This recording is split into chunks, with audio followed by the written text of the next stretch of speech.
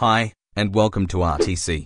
In today's video, I will show you how to remove viruses and fix corrupted system files using only a command prompt or CMD. If you want to remove all the viruses from your PC without using antivirus then watch this video till the end. You can delete all viruses from your PC using CMD. Let's start. Click the search bar and type CMD. Open CMD as administrator. Once CMD is opened, just type this simple command. SFC space slash scan now and then hit enter key on your keyboard. This will start scanning and removing all viruses as well as fixing all corrupted files in your PC. It may take time to complete, so be patient and let the process end successfully. So by using this simple command you can remove and fix your computer without using any software or antivirus.